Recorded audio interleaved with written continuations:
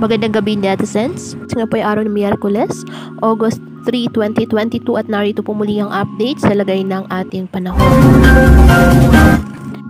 Patuloy pa rin na nakakaapekto ang southwest monsoon sa western section ng northern Luzon. Samantala, isang bagyo o tropical depression ang nabuo sa labas ng ating Philippine Area of Responsibility ayon sa pag-asa. Taglay po ng bagyo ang lakas ng hangin na 45 km per hour at bugsong 55 km per hour. Huli itong namataan sa may 455 km west of Itbayat, Batanes. Nasa labas po ito ng ating Philippine Area of Responsibility.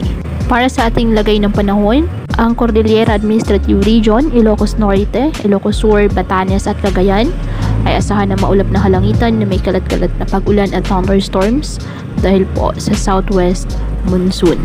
Ang Metro Manila at nalalabing bahagi ng ating bansa, bahagyang maulap hanggang sa maulap na halangitan with isolated rain showers or thunderstorms dahil naman po sa southwest monsoon at ng mga localized thunderstorms. Kaya sa mga lalabas po ng bahay, huwag po kalimutan na magdala ng payong o kahit anumang pananggas sa ulan. At yan po muna ang update sa lagay ng ating panahon ngayong araw. Muli, patuloy pa tayo na mag-ingat at palaging tandaan, God loves you. Stay safe and God bless.